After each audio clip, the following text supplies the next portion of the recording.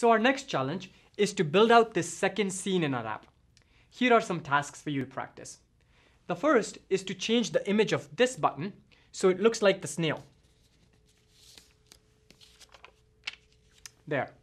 We will use this button to play sounds at a very slow rate. By the way, this image is also available in the instructor notes. The second task is to fix this button's constraints so it appears at the top left of the phone, like that. And the third task is to create an action for this button in Play Sounds View Controller. So here are your challenges one more time. Check this box when you are done with this exercise.